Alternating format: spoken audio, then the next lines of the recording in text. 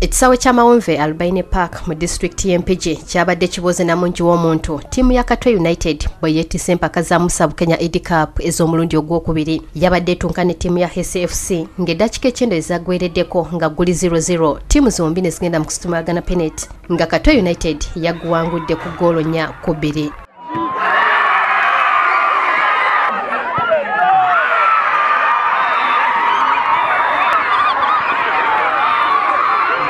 oluvannyuma omugenyi omukulu david katumwa yakwasizza abawanguzi ekikopo kimeme w'embuzi wamu n'ebirabo eri abazannyi abasukkulumye ku bannaabwe.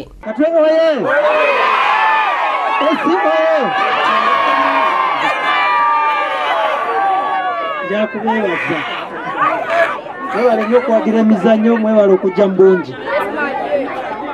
Omwanjuzi era abategesi bakoze omulimu mulungi.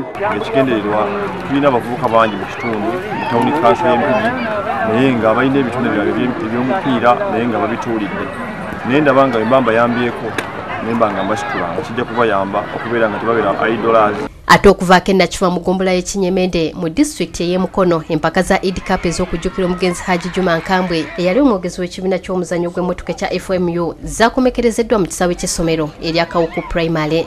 Zino zategekeddwa mutabani we haji sulaimani nkambwe nga zeetabiddwamu ttiimu 16 nga ku faino kawuku fc yameza ennanga fc ku goolo emu ku bwereere eyateebeddwa shafik mugerwa mu kitundu ky'omuzannyo ekyokubiri.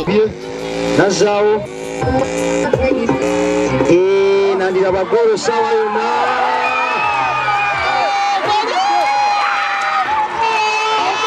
kawuku fc yaweereddwa ekikopo seti y'omujozi n'akakadde kamu